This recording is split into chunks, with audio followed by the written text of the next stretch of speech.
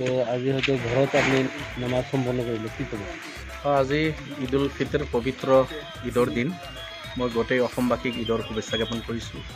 বিশেষভাৱে মোৰ জনীয়াবাসী প্ৰত্যেকজন শ্ৰদ্ধাৰ জনগণলৈ ঈদৰ শুভেচ্ছা থাকিল। আৰু আজিৰ এই পবিত্ৰ দিনত আমি সমূহীয়া নামাজ পঢ়োঁ ঈদগাত গৈ।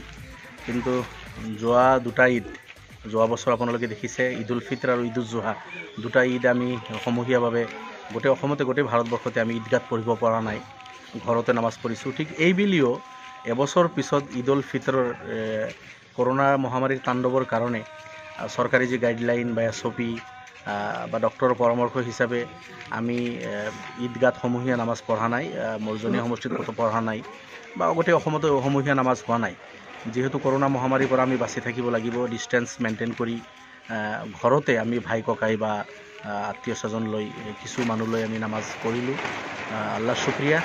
যে আজিৰ পবিত্ৰ দিন আমি ঘৰত হ'লেও নামাজ আদায় কৰিলোঁ। যিহেতু নামাজ আমাৰ ওপৰত অজীৱ আমি পঢ়িব লাগিব।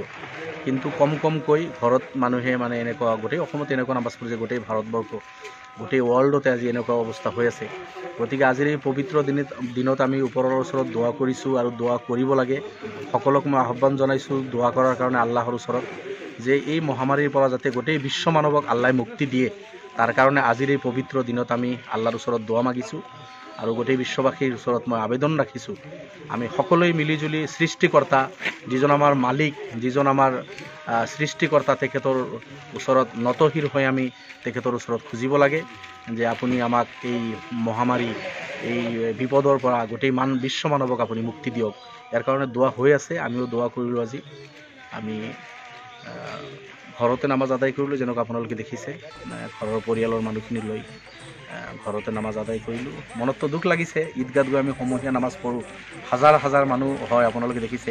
আৰু কলগাছিয়া ঈদগাত মই যোৱা বিছ বছৰৰ পৰা মই নিজে ইমাম তাতে মই নামাজ পঢ়াওঁ। কিন্তু যোৱা দুটা ঈদ আজি তিনিটা ঈদ গ'ল য'ত মই কলগাছিয়া ঈদত য'ত হাজাৰ হাজাৰ জনতা বুজুৰ্গ নামাজী মানুহ একত্ৰিত হয়। আমি সমূহীয়া ঈদৰ নামাজ পঢ়ি বিশ্ব মানৱৰ কাৰণে আমাৰ কাৰণে আমি দোৱা কৰোঁ। সেই সুযোগটো আমি পোৱা নাই তাৰ কাৰণে মনত দুখ আছে।